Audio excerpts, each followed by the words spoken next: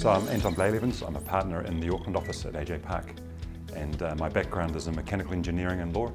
And I act for um, lots of small to medium enterprise companies in New Zealand with mechanical inventions.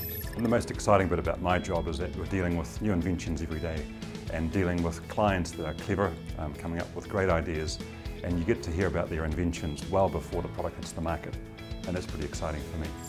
I really enjoy working with startups. Um, they are very dynamic, um, their budgets are pretty low, so it's quite challenging to help um, startups achieve their IP needs. But I find that exciting and challenging and really enjoy doing that work. So if you're looking for some quality IP advice, um, come to us early because coming to us early is really important. Uh, if you come to us too late, you may not be entitled to any IP protection. And that's probably the best bit of advice I can give uh, to new clients.